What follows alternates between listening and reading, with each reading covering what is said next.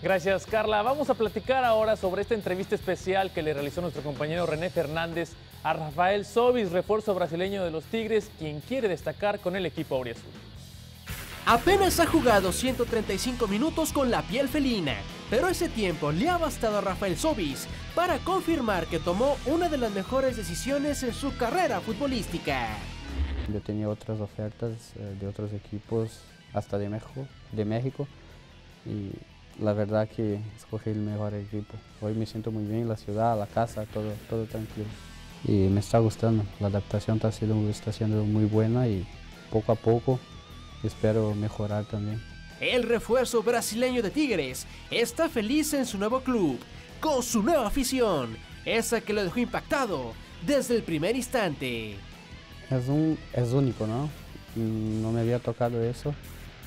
Eh, lindo, eh, el estadio lleno, es lindo. Eh, no sé, parece mucho Europa, ¿no? Tocado, pero es diferente, no sé explicarte.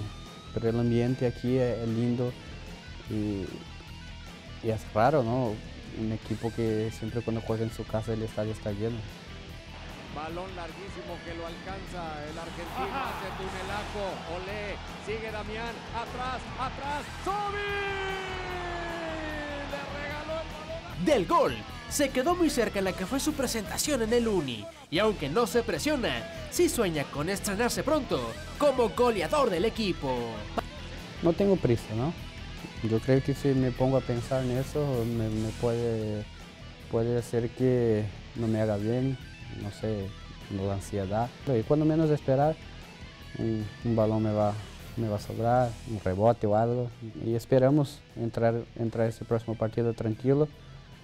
Yo ojalá haga mi gol. Para eso, el delantero contará con una motivación extra desde las tribunas del estadio, con la presencia de su familia, que ya está en la ciudad. en mi casa mis hijos me están ahí esperando. Y eso no hay, no hay cosa mejor que eso. Entonces yo estoy feliz. Ellos están ahí adaptándose, están muy a gusto también. Y ojalá eh, eh, me ayuden también, que, que me traigan un poquito más de esperanza la historia de Sobis como tigre apenas comienza, pero al final de la misma, espera haber dejado una huella que perdure por siempre. Y ojalá gane títulos y me quede aquí el máximo de tiempo posible. René Fernández, Noticieros Televisa.